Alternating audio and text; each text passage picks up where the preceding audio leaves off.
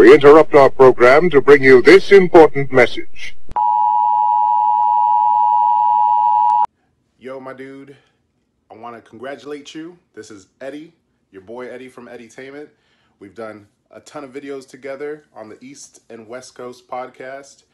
Um, I look forward to us hitting 100 videos together, but you're doing it with the Nights of Horror. You got your podcast going, so I just want to thank you for putting out that content and also congratulate you on hitting your 100th video. Uh, to you and your Nights of Horror family, keep it up, guys. You hit a hundred or not hundred thousand. You hit a thousand subscribers, which is a huge feat. A hundred uh, episodes on your podcast, which is another huge feat. So you guys deserve all the credit that you're getting. Congratulations, guys. Um, really, there's not much more than I could say than that. I'm really proud to know you, proud to to have been working with you guys for for the time that we've been working together, and keep it up. Look forward to working with you more often, my friend. Let's get on that next East versus West Coast. 100 episodes. Congratulations to the Nights of Horror. Anthony, when the hell do you sleep? Uh, congrats, guys. Here's to another 100 more.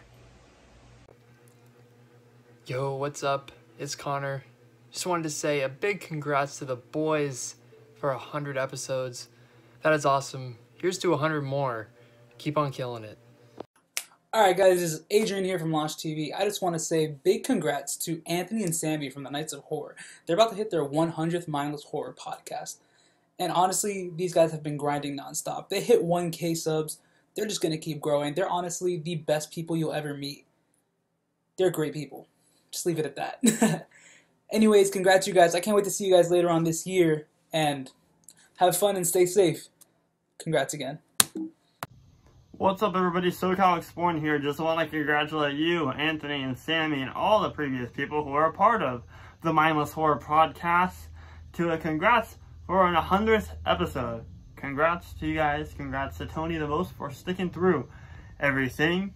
My favorite episodes and favorite memories from Mindless Horror Podcast were coincidentally every single one that SoCal Exploring was a part of. Yeah, but for real though, like, good good job with this podcast. You're doing great, Anthony, and the rest of the crew that's all behind the Mindless Horror podcast. Cheers to another 100 episodes very soon, and then cheers to after that, 500 episodes. Let's see how far this podcast can go. But good job, guys, and congratulations. Um, if I conjure up a demon, this that's my mess up the barbecue this weekend. Mm, no. Oh. Hey, ladies and gentlemen. It's me, Zombie Chris. Hello. Hi. I was not paid or endorsed, but I do sponsor and do suggest this is not a plug or commercial. What is up, everybody? Hello, and welcome to the channel. Big congrats to Nights of Horror on doing 100 episodes on the podcast. I believe at one time you stated that the great, marvelous, fantastic next generation YouTuber named Zombie Chris was that inspired you. Well, in reality, uh, you inspired me with all the content, with all the variety, the podcast, 100 episodes. That is insane. I mean, me and Connor are only going on like five or six, and I don't think we'll make it to the next 10. so, big congrats to you and your crew on 100 episodes and uh, make it 100 more. What is up, inmates of the asylum? Fausto Peebles here, and I want to congratulate the Mindless Horror Podcast for 100 episodes. And not only that, but the Nights of Horror in reaching over 1,000 subscribers. Some of my favorite moments from the Mindless Horror podcast so far is seeing all the guests who have made a huge impact in the horror community, such as the Traveling Haunt Squad, Tormented Society, horror comedy podcasters Kim and Ket from Kim and Ket Stay Alive, maybe? The captain of Queen Mary's Dark Harbor, Brad Hills, the director of Unlisted Owner, Jed Bryan, the author and illustrator of Scary Stories, a tribute to terror, Kurt Tuckfield, and Shane Hunt, the creative director of Midsummer Scream, Rick West, and composer of the film Killer Klowns from Outer Space, John Massari, just to name a few. While the Mindless Horror podcast has featured some of the staples in the horror community, you guys have also featured and collaborated with such awesome YouTubers such as Adam Black, TLEV Media, JP Land 21, Losh TV, Eddytainment, SoCal Exploring, Fractured Compass Productions, The Hauntline, and of course, yours truly, Fausto Peebles. Once again, guys, congratulations on your two huge milestones. This is just the beginning, and I cannot wait to see you guys grow even bigger.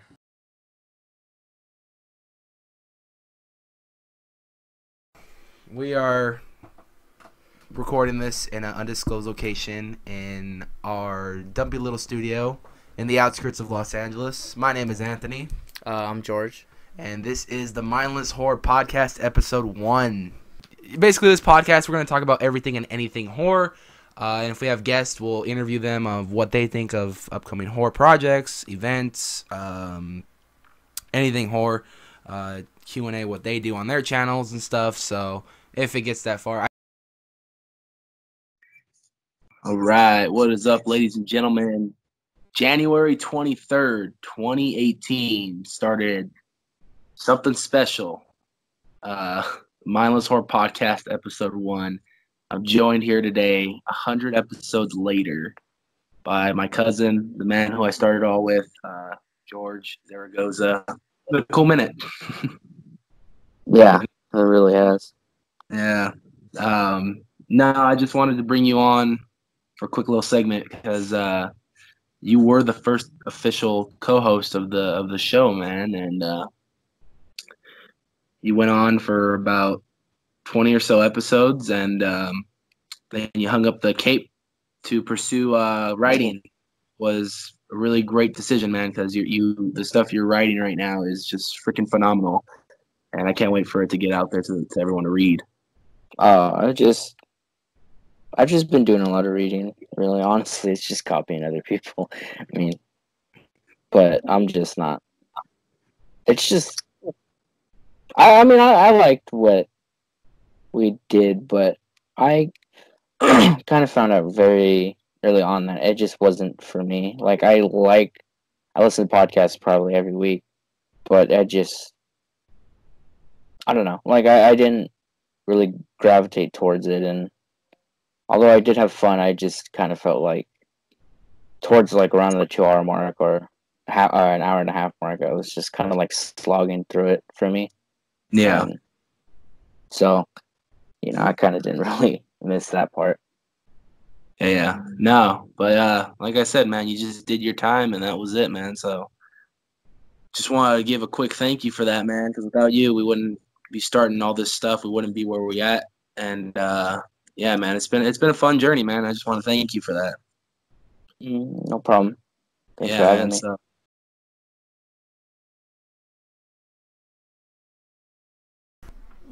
We are live in the studio. I'm here, Mindless Horror Podcast. It's been a bit. I'm here with my new co-host, Sammy. Hey, what's up, guys? Sammy, Sammy, Sammy. Some stuff is falling in the back. Guess I'm getting a little too comfortable back here.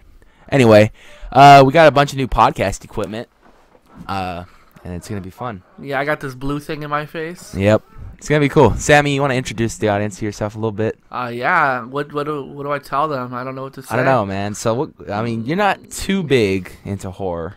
No, I'm a scaredy cat. So Yeah. like, imagine Andy from the Ellen Show. That's probably me. So if you ever want to like have a fun time watching a scary movie, it's probably I'm probably the guy to bring because That's the guy to I'm a big guy, but I'll be like at the edge of my seat the entire time. What did it say? It's recording. Is it recording? I guess. Wait, do you want me to switch to uh from vertical to horizontal, or do you want me to keep it in vertical? It's up to you, brother. Well, you tell me. You you you're the the, Go the to mastermind. behind go to horizontal real quick. I want to see what that looks like. Okay, it looks a little bit better. Okay. You just yeah. This will be the cold open, I guess, huh? Cold? Cold open. Like Coors Light? Coors Light? No, cold. Not Coors. Yeah. No, cold Coors Light is supposed to be cold. Oh, whatever. I don't You know. never seen those commercials? No, I don't. Where have you been? I, I, I don't know. I'm I'm either in this hmm. room right here or I'm at my job. So, or in No, my I- room, my room sleeping. The, so if you know Coors Light is cold, um, based upon the Rocky Mountains on them. If they're if the, the bluer they are, the colder the drink is, I believe. What a fun fact. Random fun fact. That's a good way to I mean, kick I don't off. drink it, That's but a that's a good way to kick off the 100th episode, huh? one hundred. 100. Like with two zeros? Two zeros, man. I don't- Triple don't know, digits. two- three digits? All right. What is going on? okay. Welcome to the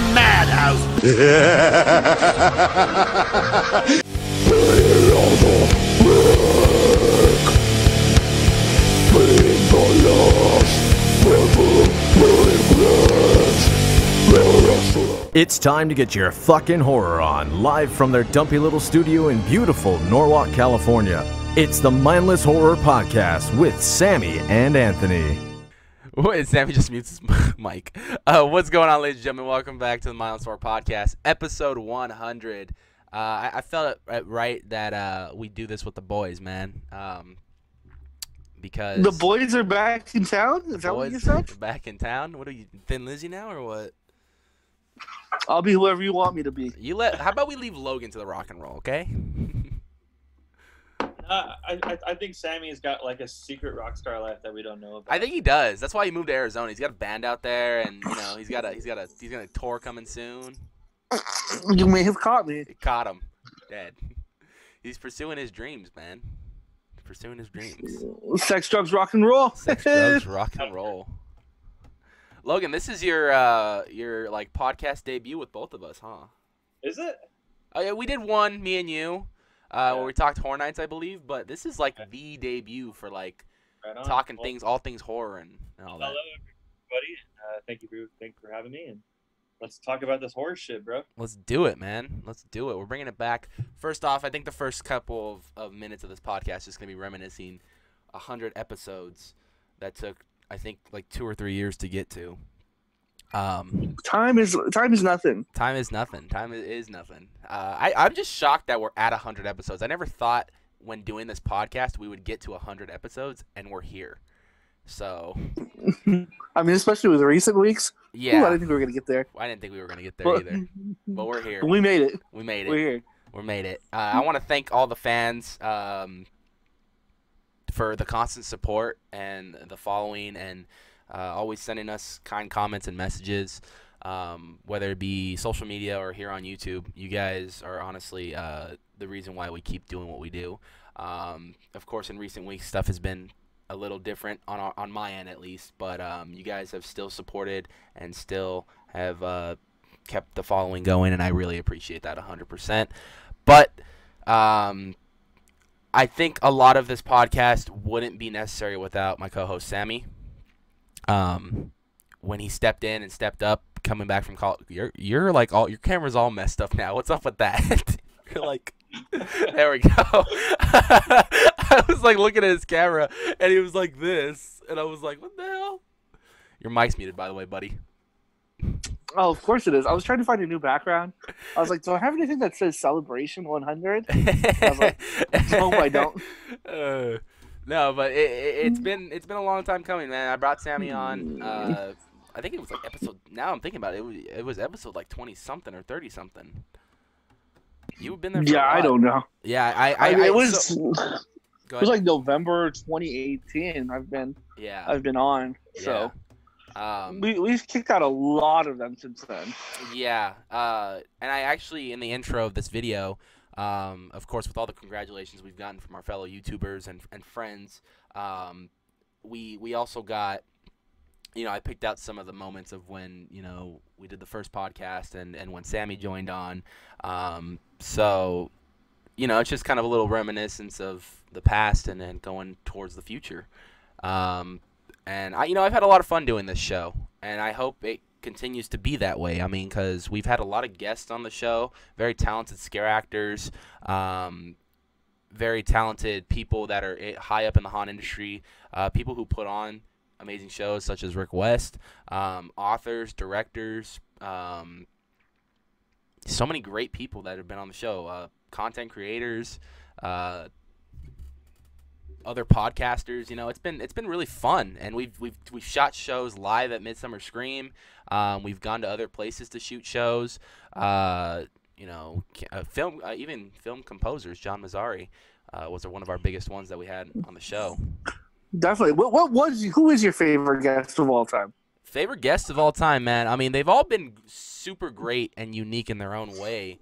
Uh, but I think the one that really like when I think gonna be a about it- political answer or what? a political answer? No, it's it's gonna be it's gotta be John, dude. John Massari was probably like I I never thought I'd meet someone who was actually part of the production of Killer Klowns from Outer Space. And, and that pinnacle of actually sitting down with John and, and talking to him about the film and, and the score and everything was, was awesome. Um, and to this day, he's still like really cool with all of us. So uh, big shout out to John. But I, I mean, that doesn't go to show that I never liked any of the other ones that we've done.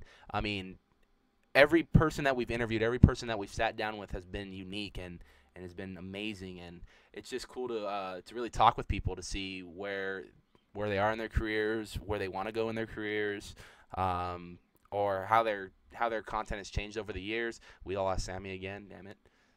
Sammy just keeps Sammy's just having all the technical issues today, huh? You're muted again, buddy. Damn. I literally just scrolled over to so like it shows who's talking, yeah. and apparently lost me, but I'm good now. Okay, but no, it's been it's been it's been a wild journey, and I'm glad that we're here. And I thought today, and and you know, and and a reminder of what this podcast was originally when it when it started was to cover horror news and and to really talk about what's coming next in the horror world. We're gonna do that exactly today. Uh, of course, we'll we'll go back and, and talk a little bit about the past, but then we'll, we'll you know we're gonna talk about what's coming in the future and uh, what to expect. I think we want to make uh, Logan obviously a uh, another co-host on the podcast, so that's definitely something from hundred on that's gonna happen. Um, but uh, it's gonna be really really fun, Logan, and I, I can't wait for you to really uh, be part of the Mindless Horror podcast crew now.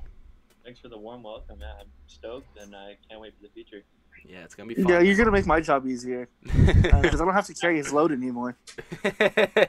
Oh, dude. Oh, and that, that that's another fun thing about the Mindless Horror podcast right there. Last year around this time we did Summer of Guests. Obviously, it's a little bit different this year. There, we're we're not going to be really doing it too much because I think with Summer of Guests we're more of like an in-person kind of thing, and it's a little bit hard to kind of reconnect with people in quarantine over Zoom or Skype. So uh, we're we're gonna take put that on a hiatus until next year, but we definitely want to keep that going. Um, because that was a fun thing. And I remember we recreated the uh, Once Upon a Time in Hollywood trailer. That was one of the funnest things I remember doing. Uh, we actually went out to a park with uh, um, our photographer Robert, uh, and we just we were just out there filming the entire trailer. We watched it like so many times. I remember I, I have that trailer like played in my head still to this day because I had to watch it over and over again to get the right edits and what where to put what and wh- exactly what cuts of the song that were used in that film. Man, that was a that was a that was a roller coaster, wasn't it, Sammy? yes, it was. Why don't you It just leave it unmuted? Because then you're gonna hear the entire time. I don't want you guys to hear that. I have I have a lot of respect for the fans and the supporters of this channel. Um, I don't want you guys to have to sit through however long this ends up being of that. Um, but yes, it was a lot of fun um, and a good time. It was hot though. That was that's the one thing I do remember. It was we were hot only out day. there probably like we were like three hours. And I was like, oh my god, I just want to go inside some air conditioning. Yeah, we tried to, like we a tried to nice sit, cold drink. We tried to yeah, we tried to sit in a lot of shade. I remember after that we actually went down to a gas station and actually bought like a bunch of we bought we bought each like a big soda just to down. We were all hungry. Um, it was just a roller coaster that day, but I think we got a lot of cool photography that we still use on the on the social medias today and gave us a damn good trailer that we put together. So that was really fun. But um Yeah, man. I mean, it's been it's been a roller coaster of, of emotions with this podcast. So let's let's get into. Is he doing it again? It's it's happening again. A little sideways view. Sammy's just on it today. He's just on it today, Sammy. Just uh, it's still muted again. oh, he's getting a bunch of. I had to switch it up. I had to get the the shot, bro. Don't touch it. Yeah, that's uh. It looks- That's oh, that's the shot. Yeah, that's the one you had to get. The iconic uh, um, doing of it, huh? There's Andrew right there. He's been on the podcast. We're finishing. We're filming the 100th episode. Congratulations. Thank you, sir. 100? Personal paradigm. On episode 9. Episode nine. You'll get there. No, 10. Ten. Of nine million. Episode ten of ten million. 10 out of 10 million. um, but it wouldn't be a mindless horror podcast, of course, if we didn't. Uh, we used to do a segment way back in the day uh, where we would look at who, people who've died uh, in the horror community and kind of pay our respects to them. And of course, uh, one of those people that died this past week was Ian Holm. Ian Holm, if you guys know, famously played Ash in Alien and also had a, a major role in um, the Lord of the Rings uh, trilogy. I forget his name, but he, he was a, a major part in that. Uh, he played Bilbo. Bilbo, yeah, there you go. Um, actually, right when I right when I say I forget his name, it literally pops up in the in the article. Bilbo Baggins played it in the uh, the Lord of the Rings trilogy and the Hobbit films as well, so that was really cool. Um, but yeah, it was. Uh, we lost him at the age of 88. Um, of course, like I said, uh, the reason why we bring him up is because Aliens was, uh, or Alien is, of course, the uh, sci-fi masterpiece directed and produced by Ridley Scott. Um, that really put like a new meaning of horror on the map, and it really revolutionized the way cinema went forward. I mean, like that whole movie shot in the future in space, very to this day one of the greatest films I think in uh, that of aliens that we So have. films, yeah, there's so many films that try to like replicate what Alien did, and they just can't do it. Like, Yeah. A movie as old as it is, like nothing holds a candle to it. Right. No, I agree. It, it's just it's this movie to this day. I mean, it's still. I mean, when it came out, that surprise ending of, of the of course the chest buster and everything, shocking audiences. That was uh, all that was all like improvised. Like no one knew that was gonna happen, and when it happened, like that was all raw reactions and stuff. So, you know, this movie has a lot of um, a lot of history and a lot of uh, a lot of which you know what's the word I'm looking for. Uh, I don't know what I'm. I don't know what the word I'm looking for is honestly. this movie's just historical, man. Yeah, it's a it's got a big legacy. Um, first, I mean, to me, the two best sci-fi horror films are Alien and probably John Carpenter's The Thing. I mean, Yeah. those two are just you know up there as masterpieces, and it still holds up. Alien like holds up for you know being made in the '70s. Like, Yeah. you watch it. Like I watched it in 4K like not too long ago. I'm like, it feels like you're watching like a modern film. It just it, just hit 40 last year too. Not to mention. no, it's a fantastic film. Ian Holm is fantastic in that. Um, if I, I hope most people have seen that, but if you haven't seen it, give that thing a watch. Yeah. And like, thank me later. Yeah, Alien's beautiful. Sammy, have you ever seen Alien? Do you already know the answer, probably. Uh, that- I, I, I wish I was Sammy. I, I, I wish I was Sammy so I can experience that for the first time all over again. Certainly, man. Sammy, it's Get on out- Voodoo. Check it out. Oh, uh, yeah. I know. I was. We were supposed to watch it last weekend though because I was moving. We didn't get a chance to watch it because Gary said the same thing, meaning Slane's boyfriend, Mm. that I need to to watch that movie. I need to watch Alien and then Aliens. Yeah, um, both those- of them back to back. Fantastic. I, I, I would say everything after Aliens is not very good. I mean, Alien Alien Three is okay, uh, but I like the first- Prometheus. Prometheus was good. Prometheus is yeah, it's not bad. Uh, but uh, like in terms of like this ten out of ten films, like Oh Alien, yeah, you're never gonna beat the first two, man. uh, and uh, Alien is very much more slow than Aliens. It's like a survival, just more of a survival horror film, and then Aliens is more of like an action-packed thriller. Yeah.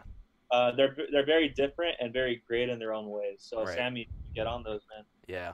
Alien vs Predator too. That was a fun Oh movie. yeah, oh yeah, absolutely.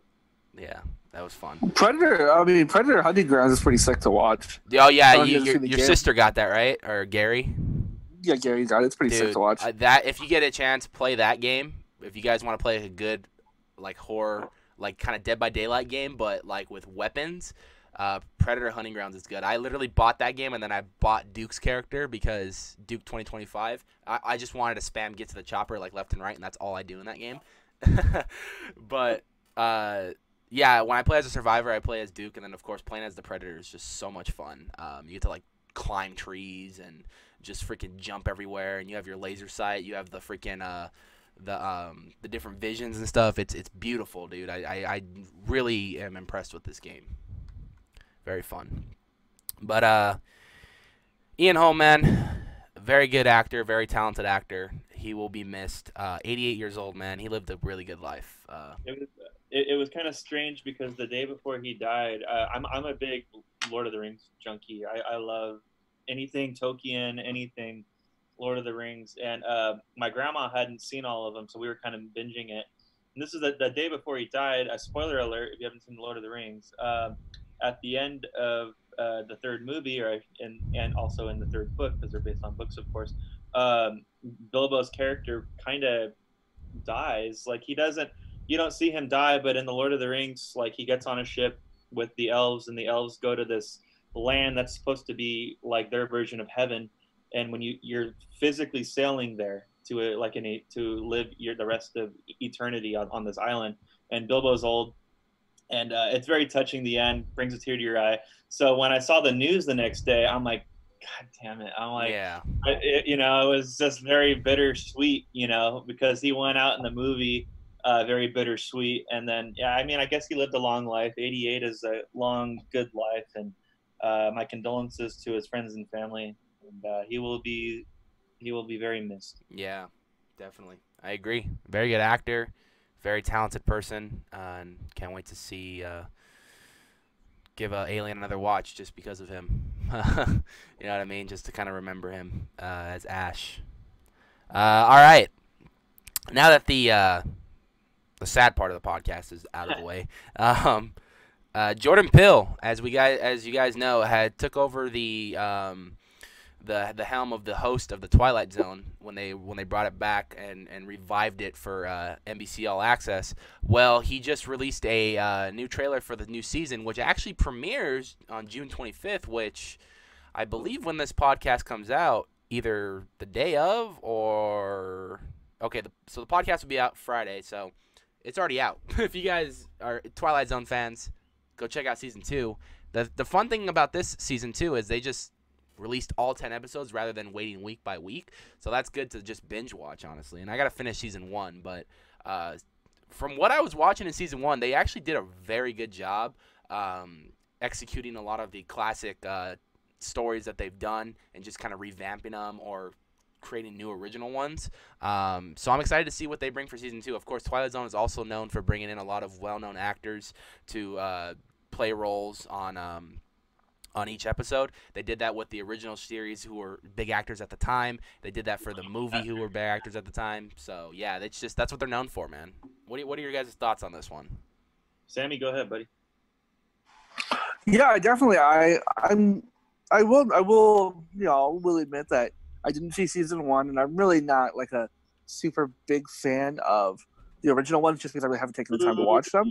But I know that I know Logan's probably just angry now. I I, Um, I I designed a maze for this, and you still haven't watched it. I feel insulted. Like I, my, my maze idea should have sparked interest in you to go and watch that show. Like I'm gonna binge watch it right now.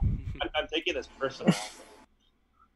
I've been I've been a very busy man these last few weeks. You have. trying to trying to organize my life. Yeah. Um, so I, I do apologize that I haven't given Twilight Zone enough love as it deserves. Uh, but with CBS All Access, maybe maybe I'll do a, a free trial and see what's good. Um, there's a lot of things I need to watch in my list of things that Sam needs to learn in his A lot. life. Uh, a lot. um, so I think it's going to be added to the list of things. Um, I don't know how high on the list it will be. I do apologize. I was apologize. gonna say I don't know once when we're gonna get there, but it, it's, it's on the list. it's on the list. It's on the list. So uh, there's that. But I, I mean, everything Jordan Peele's been doing, I've been enjoying. Right. Um, whether that be Us or like Get Out. Um, so I'm pretty sure it's good. Um, he's not putting his name on anything bad, so that's good. Maybe Candyman. We'll see. Uh, It's kind of a statement, got but it hasn't came out yet, so I can't say anything. But he just pro- Yeah. he just produced it. He didn't direct the, Yeah, the new it's- yeah. Candyman, right? So I, I guess if it's bad, I can't really blame Jordan Peele um, because there's so many times where producers like have their name on it, but really like, I mean, some more than others. I'm not saying that's about Jordan Peele, but a lot of producers just kind of show up, shake hands, say, "Oh yeah, that looks good," and then They just uh, put the money into it, and that's it. At least that's what John Carpenter does when he produces movies. yeah, Um, just he but, just uh, puts his money. He's like, "Here's the check. There you go." Well, that's how it went with the Fog remake in 2006. Like he, his name's on, is on it as a producer, and he just literally showed up to the set one day and shook hands and then left. Uh, but uh, anyways, going getting sidetracked there. Uh, but as far as Twilight Zone goes, um, I haven't really watched the new show. Obviously, I'm I'm a diehard for the original. Um, I watched the first episode of the first season uh, that premiered. I think it was last year, right? Yeah. And um, I I thought it was okay.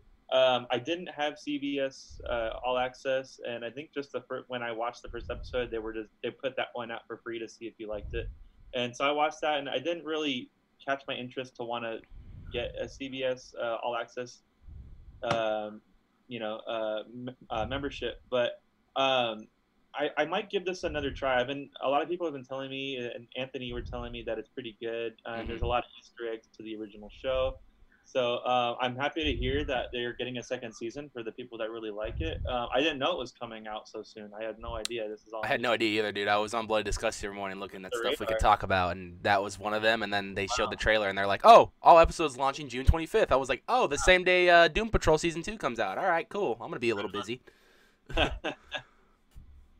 So yeah, it's gonna be interesting to see where this season takes us.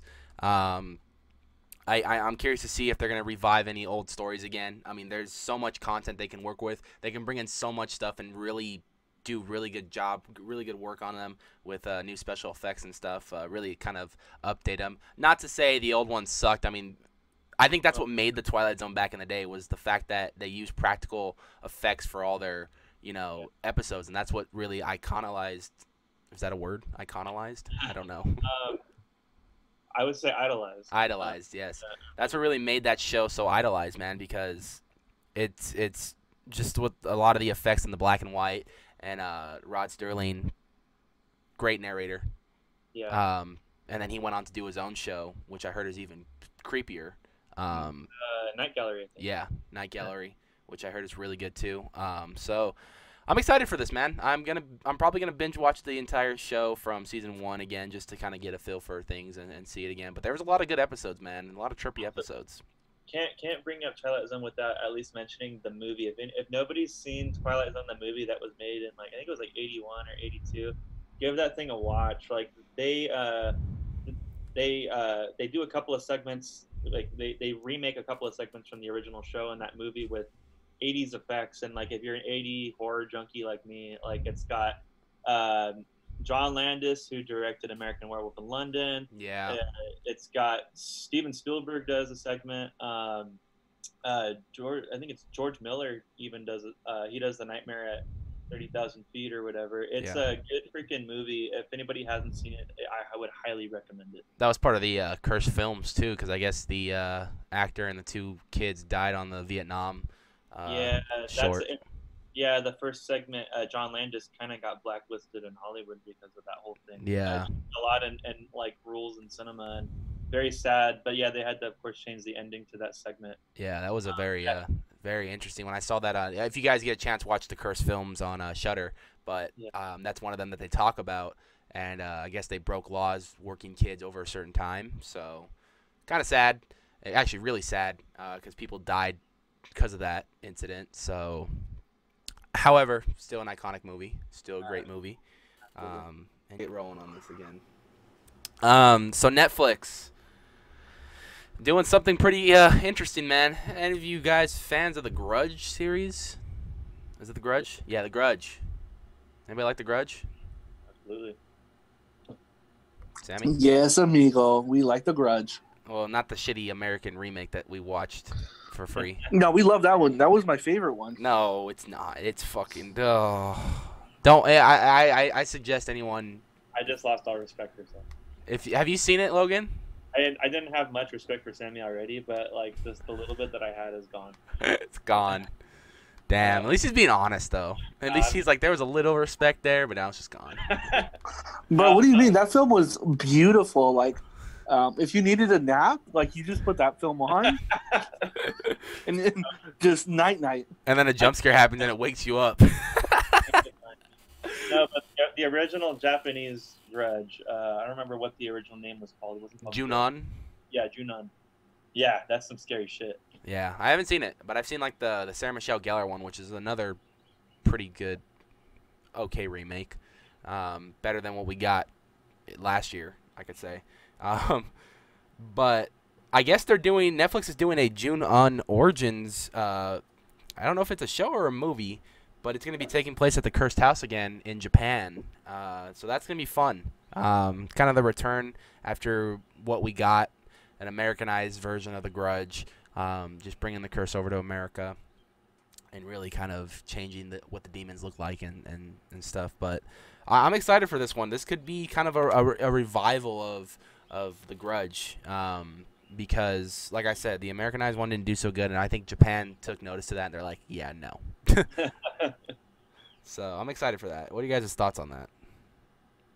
Um, no, yeah, I mean, like I said, the original uh, Japanese Grudge is some scary shit, and uh, actually, I, most people I know haven't seen it. Um, if you haven't seen that, like, watch that thing, man. It's uh, Japanese horror films are, are pretty fucked up. Uh, uh, it's really good. Uh, the Sarah Michelle Gellar one was okay. I thought it was, but com- once you watch Ju-On, like, there's no comparison. Um, Yeah. So, um, I, I, I, I'm pretty stoked that uh, it's Netflix, right? That, that's picking up the show. Yeah, it's actually on Netflix as of right now as we speak. Is it? I think Oh, so. I, I know what I'm doing later. There you go. Uh, yeah, no, that's awesome. Um, honestly, uh, if they bring it back to the Japanese roots, like it's got a lot of potential.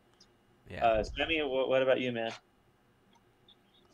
Yeah, I agree that if, if if it's taking the Japanese take on it, it's going to be a good thing. Um, I just hope it doesn't like tie into this whole American universe Yeah. that they really tried to make. Um, the other thing I hope for is uh, like mini films um, that it, it doesn't try to make the Asian culture American. Um, I hope like they, they actually typecasted well and you know used actual So, Japanese people and The cast and for a like majority not looks, just looks all Asian right now. That's what I was excited for because this that's where it did come from. I think eh, they all speak English though, so it's not like dubbed over or you're not having to read subtitles. Like everyone speaks English on the cast, but they all are Asian. It just it takes place back at the Japan Cursed House, which is cool. Yeah, that, that gives me some hope. Um, because like, I mean, I, I don't mind if it's like dubbed or subtitled or whatever, but like if they're gonna do it in English, that's fine. I just hate like when they take a film like I Eat the Ring or like The Grudge, and they're like, all right, well, we're gonna make it a white person thing now, um, even though this is some Asian spirit, you know, some Asian folklore, Right. and let's just make it uh, a middle class family in Massachusetts that this is happening to now. Yeah, I, I completely 100% agree. And we can't forget about the masterpiece that was The Ring versus The Grudge that J- Japan made. I still have yet to watch, and I really do want to watch. Um, I think that was uh, that was the, the, the crossover we didn't deserve, but we got. Um, and I, I don't know, man. I don't. I, who who do you think would win in that fight realistically? Like, you got two freaking demon type ghost like characters. One that haunts a house with like a little brother, and then the other one that is in a possessed cursed videotape. So I don't realistically who would win in that fight. I don't know. I don't know. I don't know the answer to that one. But that is a real movie, by the way. I mean, you can The find real winner is the audience. the audience. Getting to experience that. yeah, that's a real movie, by the way. Yeah, I think Japan did it about a year or two ago, and they're like, "Yeah, we're, we're gonna do this movie," and I was like, "We haven't seen something as good as this since Freddy versus Jason, man." but uh, yeah, I think uh, I think it's gonna be a fun watch, and if they're going towards like the origins, maybe we'll get to how the kids became. Uh, how they are today and, and what happened to them maybe maybe a more backstory on, on the whole on the whole grudge in general so I'm excited for that You know, the next crossover we need is uh, the Shape versus uh, Leatherface. Um, yeah, that'll be pretty. That'll be lit. I'm down for it. I don't think I could answer that. Uh, that's that's. It is a hard one because the shape is a pretty tough motherfucker, but Leatherface has that chainsaw, which is kind of in his advantage. Yeah, that's true. But we ha- we have seen the shape over the years use many things to kill many people. So, Yeah, he's very uh, creative in his kills. and I and I gotta give it to him with stealth at least. He's really good as a stealth killer. Leatherface just goes out there. Yeah, he doesn't give a fuck about. Yeah, he just doesn't care. Um, that'd be a good one. Maybe a good uh, horror icon mashup. That'd be fun, huh? Bringing that show back. We're gonna do it. That's gonna be fun. Bring her back. Bring her back. Uh, this one's. I know this one's gonna be a little. This is uh this is more of a Logan kind of topic right here because he's he's Okay. the he's the collector of the group. Bring it up. Um, Go. the iconic film 13 Ghosts is getting a Blu-ray collector's edition release from Scream Factory. I know you've bought movies from Scream Factory before. Oh, Um, dude, I've got shelves and shelves of Scream Factory. Yeah, and they and they're famous for actually taking a lot of iconic horror films and giving them a dope, awesome like uh, special edition uh, like casing and stuff like that, packaging, which I think is really cool. Um, so Logan, being that you're the collector of the group, what are your thoughts of 13 Ghosts getting a collector's Oh, edition release?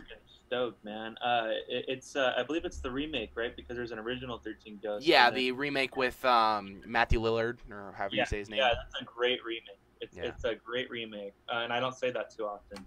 Um, but Scream Factory always does, for the most part, just a fantastic job at um, remastering movies, and like they, they'll give it like a 4K scan, and they'll just load it with special features that you've never seen before, and like new commentary. So if you're into like you know how films were made and you want to like hear from the cast and the and the crew that made the film and like hear where they're at now and uh, see their or hear their their opinions on it and just telling you stories of like times on the set like it's uh it's worth the money Scream Factories aren't cheap um, usually uh, they're between um, brand new depending on how much content is within the the, the, the Blu-ray, it usually ranges between twenty-five to thirty-five dollars.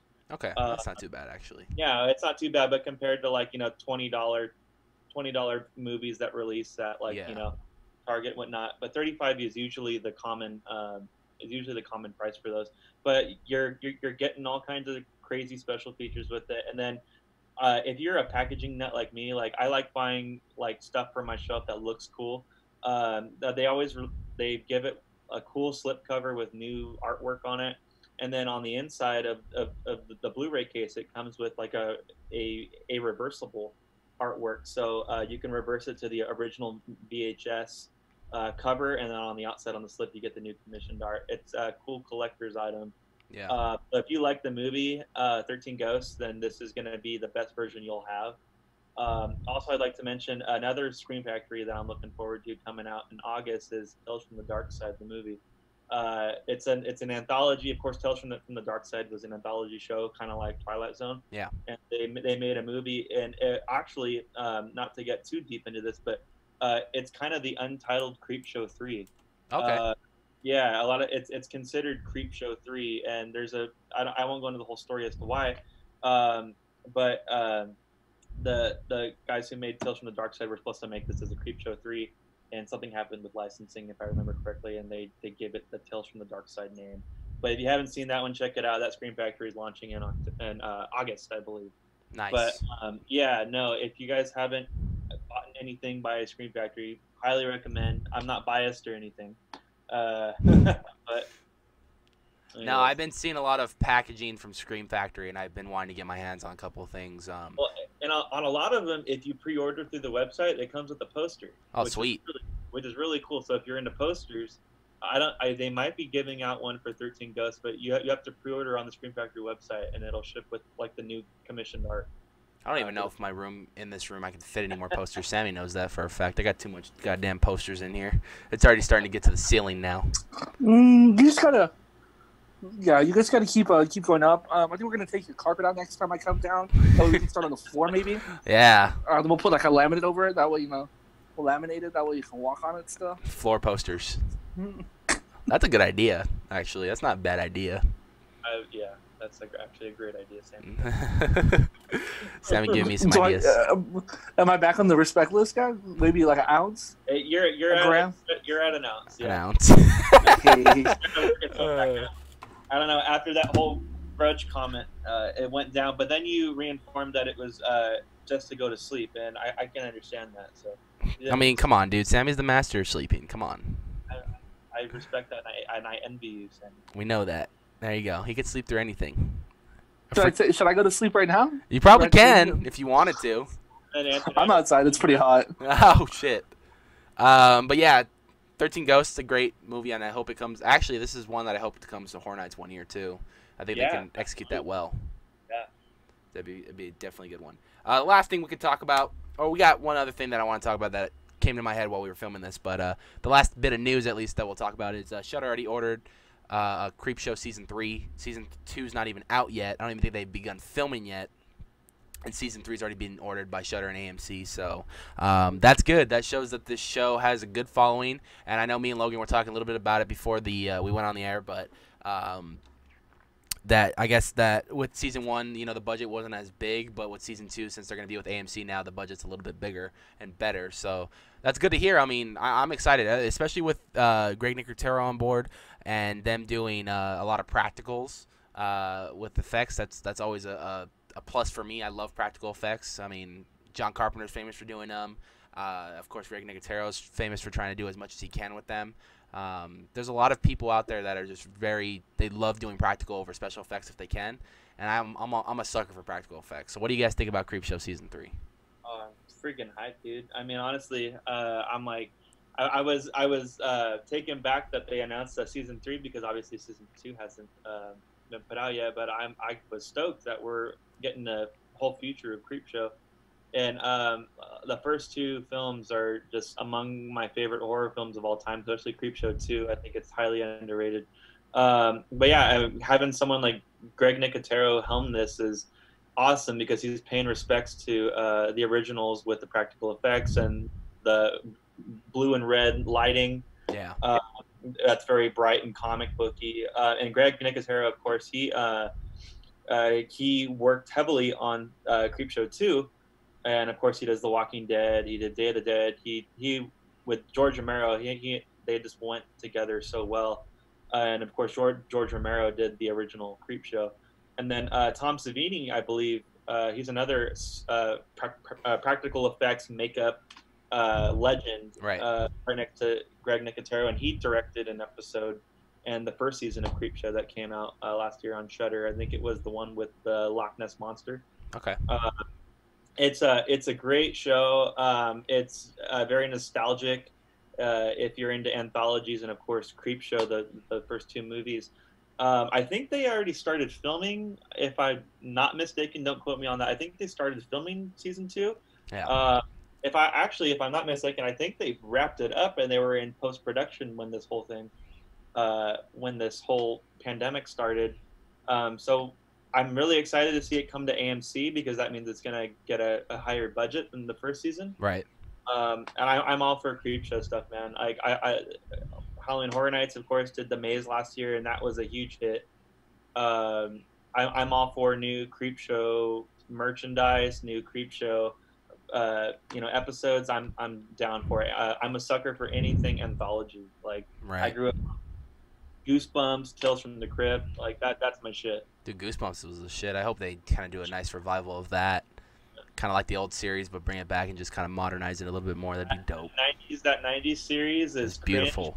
so beautiful at the same time. Oh yeah, it's great. I think it's on Netflix too. So Yeah, yeah. I, I had a guy make because you know I me, mean, I'm like a physical media whore. Uh, I, I- had a guy make a, a Blu-ray set for me. Uh, Nice. From, they don't, of course, make that. Um, so yeah, dude. Like even though I've got it accessed on my on my Netflix, I still pop open the the case and put the Blu-ray in. There's something special about physical media that just digital doesn't. You know. Digital no, I agree. No, physical media, you're gonna get the best and highest quality compared to anything digital. Like that's a guarantee because you know you're not streaming it; you have the actual copy. So that's good. Sammy, thoughts on Creep Show? We went to the maze last year, obviously, so I want to hear your thoughts on what you think of season three Yeah. coming. No, definitely. I think it's a great thing. Um, I have I've yet to see the Shudder series. Um, I had wanted to, but once again, there's that long list of things that I, Sam needs to watch. uh, We and watched we watched the movie uh, at least. He's seen he's seen the Yeah. movie at least. That's good. I've seen the seen the movie. Um, I think I just I, I, I just didn't realize when it came out. I knew it was coming out last year, but I just never figured out when it came out, and then I never got, went around to getting Shudder. Yeah. Um, but it's definitely something on my watch list. Um, and I heard it was really good.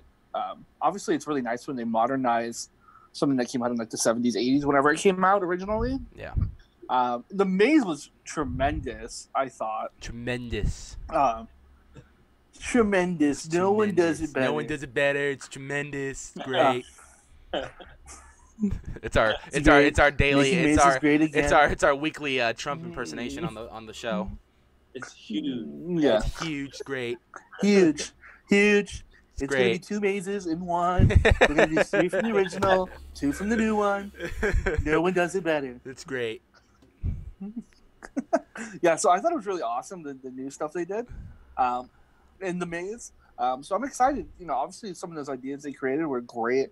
Obviously, if you have people like Greg Nicotero behind it, Tom Savini, Yeah. you know that you're going to be getting some good quality stuff. Obviously, you know some people's favorite parts of The Walking Dead was Greg Nicotero's. You, you know, obviously he worked with George Romero. People love him, um, and so I think there's a lot going on there. A bigger budget with AMC is always a great thing. Yeah. Um, well, most of the time, you know, most of the time, bigger budget means better quality. Sometimes, you know, people bigger budget just means they just spend more Yeah. just because they can. But I, I anticipate them spending more because it's going to produce a better product. Uh, and obviously, they did a good job with season two because it hasn't been released, and they're already like, let's get season three in. Yeah. So I'm imagining some of those early watches prove that season two is worth a watch Yeah. um, and that it needs to be renewed. Um, and I, and you know, obviously with an ever expanding world and more things to draw from in terms of horror, um, you know, there's there's that there's that possibility for a season three Yeah. um, to revisit maybe old stuff and create new stuff. Right. So I'm excited, and uh, I know some of our audience were probably going to be real excited about that news to be able to see more Creep Show. Right. No, yeah, and I agree. I think with Creepshow, that what they're doing is mashing some of the old with the new. I mean, they're they're basing new stories around the Creepshow name, which I think is cool. Of course, this is a Stephen King um, comic book that was made, which was a really great comic book. Uh, I remember looking through that, flipping through the pages at a, at a bookstore one time, and just take, taking a quick look at it, and it looked so spot on to like what the movie is. They get a lot of the coloring right and stuff. So yeah, it was cool to see Stephen King actually take a break from writing novels and actually creating like a graphic novel based around horror stories, which was Creepshow. Um, and it was such a great, uh, great film. Um, and I gotta, I gotta get the book. I want to read the book now um, because it looked amazing. But no, I'm excited to see where they go with this. I mean, with Creepshow now, I mean, I, I, I imagine that they're gonna try to accomplish all the original stories that they can and remake them into a more modernized, more heavy special effect, good uh, quality stuff, uh, and then create some of their own original stuff, which we've seen that they have done in the past, and it's come out really amazing. I mean, one of my favorites uh, thus far was, of course, the like I, we, me and Logan were talking about the the werewolves in World War II was such a great um, story, and we actually got to see that one in the maze. Sammy, that was one of the ones that they featured in the maze, and it actually made it made a lot more sense to me after I watched that episode. I was like, okay, this makes so much more sense after going through that maze. Like, I Just get wait this now. you- just wait till you get to the companion. I think is what it's called. Uh, there's an episode called the, called the companion that it, it ties into the original movie. I won't give anything away, but Nice. that's like I got goosebumps when I watched that. As like a big diehard creepshow nerd, I was like cheering on my couch. So wait till you get to that. Be excited for that one. Uh, speaking of Greg Nicotero, um, who of course is helming this, uh, you've never seen me geek out harder ever. uh, When I was at Horror Nights in uh, 2015, and I saw Greg Nicotero and John Murdy w- walking together with their families in the Simpsons area. I like. I lost my shit, dude. But like they were they were with their families, and I didn't want to be that guy to go up to them. And Yeah. but like I was just like my friend and I were just like geeking the hell out. But Greg Nicotero is a horror legend. Uh, he's the only person that could have done this creep show series and give it justice. Uh, of course, he, he had roots in the original.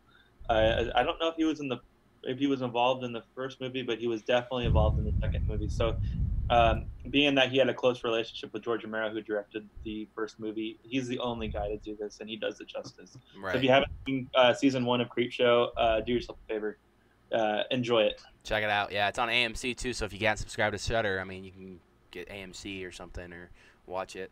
Um, definitely check it out. I gotta finish it for sure. I was really getting. You know what it. else? What else? Gotta put in the garbage. Gotta get the, the garbage. uh, that was an iconic scene from The Maze right there. But um, to really end this uh, 100th episode uh, with a milestone such as big as ours, um, we have another milestone on our hands that just happened recently, and that's Jaws. What is it now? I think it's 45 or 40. Yeah, that just recently happened. I, I can't remember The open sea. I can't remember the the actual the birthday. I think it's 45 years old though. Yeah, it's 45. 75, yeah, so that makes sense. Wow. 45 years old, man. Jaws, one of the most iconic shark uh, horror movies out there. One of the only PG horror movies that I know of. Um, and for it being PG and with all Poltergeist. the Poltergeist, Poltergeist too, yeah. Poltergeist came to mind too. Poltergeist is another one. Um, two iconic PG movies that don't deserve the PG rating, but the rating system was so much different in the 70s and 80s at the time that. Oh my God! Um, Giving nightmares left and right. right? Um, but I think Jaws had a big impact in the world when it came out. Of course, another Steven Spielberg classic. Uh, Another reason why I love the director so much. Um, but th- this ultimately put great white sharks on the endangered species list because after this movie came out, people just went to go hunt them left and right. Uh, and that's that's a big that's a big deal right there. I mean, it, it shows how much of an impact this movie had on on society because people wanted to go hunt great whites because of how dangerous they looked in the film. Um, but this this film's so iconic, man. I mean, you have of course the crew that goes out to hunt him, and of course everything that leads up to that final showdown with uh, with them and, and Bruce the Shark. Um, the, the the disaster behind making the film cost them a whole year of production just because the, they had a, so much problems with the shark and everything. Yeah. Yeah, you take the Bro, you cannot, you cannot mention Jaws without talking about its score. John Yes, Williams, John Williams did a beautiful job Yep. writing a score full of tension and beauty and adventure. Um, That's where the, that's where the music guy comes in right here. Sammy's the music guy. Well, yeah. Well, The guy. No, no, no. Logan. Lo- Sammy- I- I'm- Sammy's the the score musical guy. Okay, you you're a Mm-hmm. Yeah. different type of musical guy. Okay, we know what your music is, but Sammy. I could talk to this guy about freaking classical music, and this guy will know like everything. I'm just like, oh, oh shit, okay. Looks like I didn't know anything. Ooh. bro. I, I and then just the tension that da da da da da da. You can do that to anyone, and they know basically that's Jaws. And it's so it's such a Ah. simple score and it's so effective.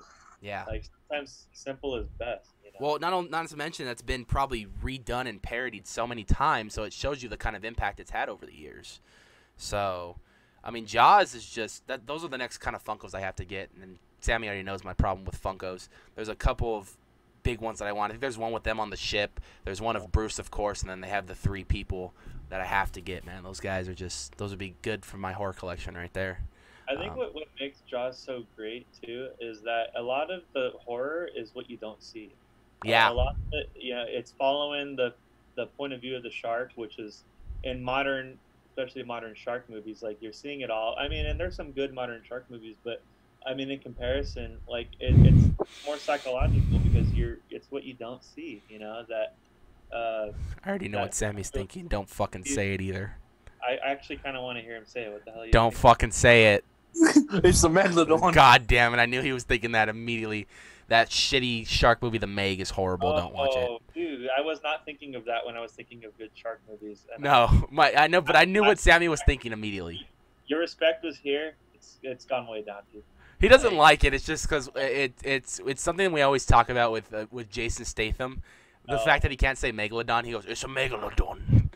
um, and my my dad, he's a very big fan of cheesy uh, monster creature features and all that. Like he's a he's a huge fan of Godzilla. Loves them all, every single one of them from the Japan days till even up till today. He's a huge Godzilla fan.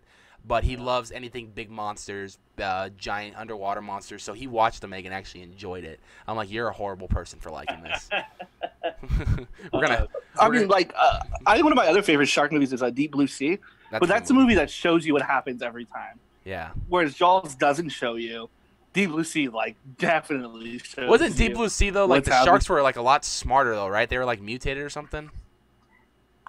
Uh, it was like one shark only. That was like really and smart. He was like, they were yeah they were doing like tests on him and stuff like that. Yeah. And like he just like fucking wreaks havoc. That is one of the best Samuel Jackson death scenes ever too. Uh, have you guys seen the uh, the some of the shots that weren't used in, in the original Jaws? Like there's there's one that comes to mind that you should Google, and it's terrifying. And it, it- they um, obviously they, they shot the scene, but they didn't use it in the movie, and you can't even find the scene itself, but you can find black and white pictures. And that scene in Jaws where the kid gets eaten on the it was like the I think it's on the Fourth of July when everybody's at the beach and he's on that like little floaty Yeah.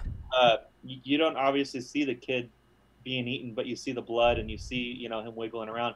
But there's a shot that is terrifying if you go on Google Images, and it's the kid laying there on his little floaty and the shark like biting him, like the kid's laying in the shark's mouth, and it looks Oof. terrifying.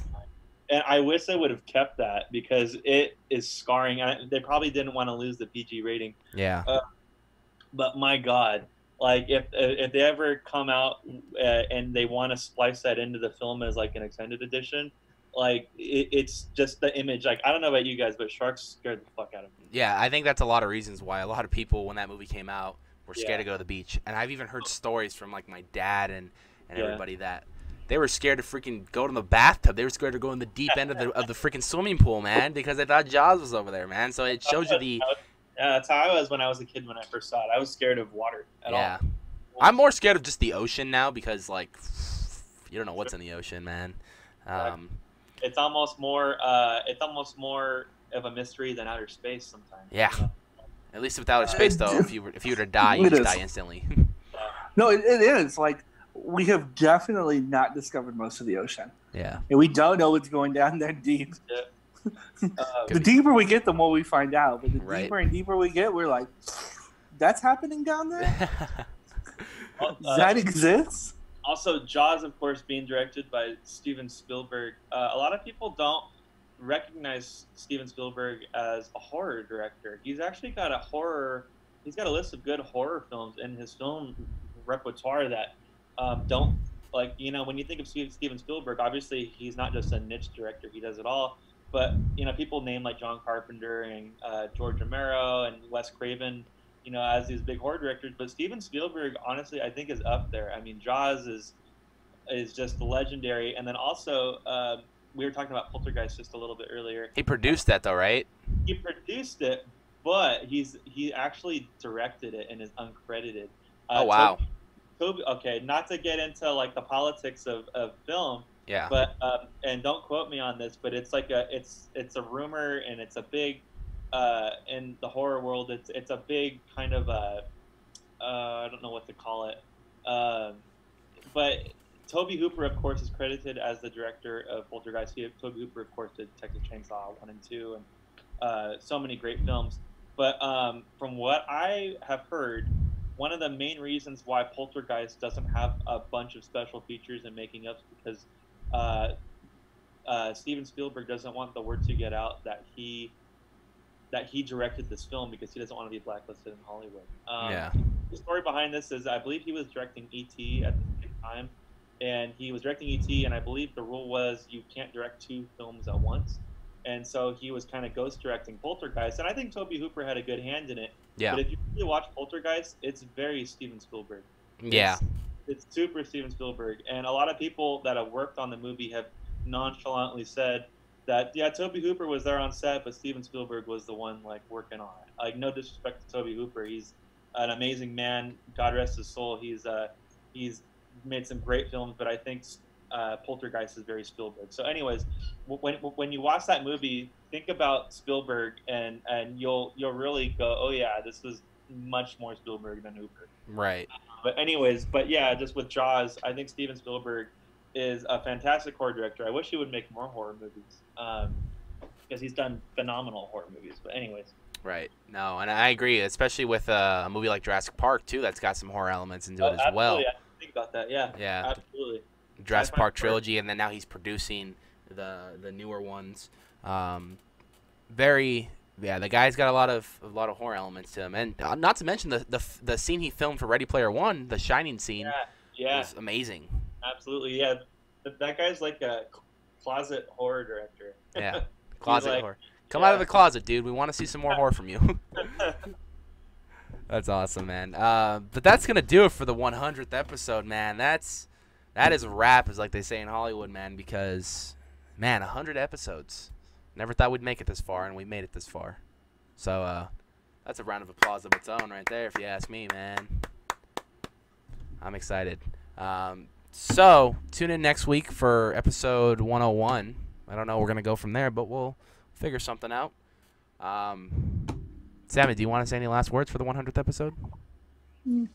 Uh, stay classy, San Diego, Yes. and uh, keep watching because uh, there's more to come. More to come. Just because we reached 100 doesn't mean we're stopping. No. Uh, but thank you for everyone that, that has been here um, for the previous 100 episodes.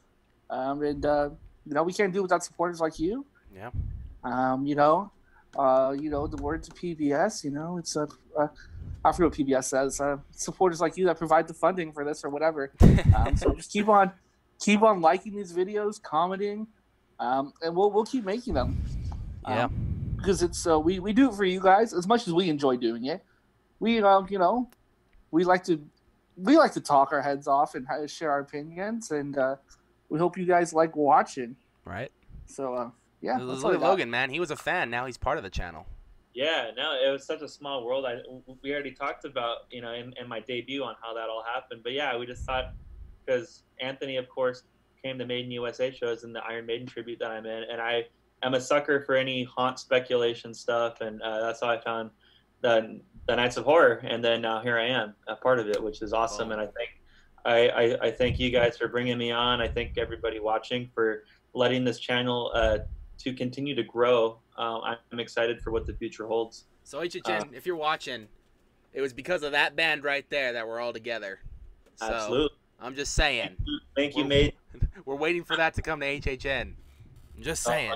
Dude, dude, don't get me started because that's gonna be a whole other hour we're gonna have. On Oh, another video right there. Oh, yeah, don't Yeah. even get me started on it. Do you want me to throw some trigger words at you guys real quick? Like Oh, hold. Billy, um, 2020, Eye- Eyelash. eyelash. I think isn't there? Like, I don't know if Ozzy actually said this, but I think there's a meme who's all, "What the fuck is a Billy eyelash?"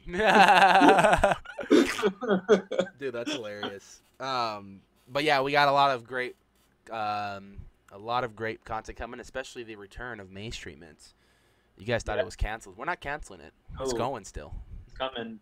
Yeah, It's yeah. coming. Some, some things in our in our world took place that, of course, you know, uh, that needed to be uh, more of a priority than uh, than maze treatments. And uh, of course, it's not canceled. We're we're excited to do it. I'm super excited to do it.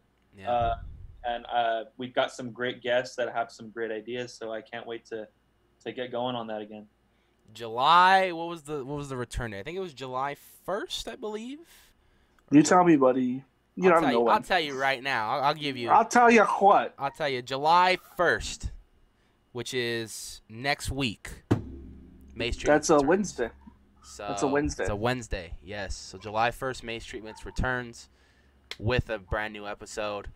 SoCal exploring Scott versus Lost TV's Adrian. It's gonna be fun. It's gonna be dope. I mean, you, yeah, there's there's no uh, you got to really step it up after what Hauntline brought to the to the table. So I, I, again, just to reiterate that a little bit, I was like, man, Matrix, it's not happening. And then like, I, I want that like so yeah, bad. you saw that pitch and you're like, oof.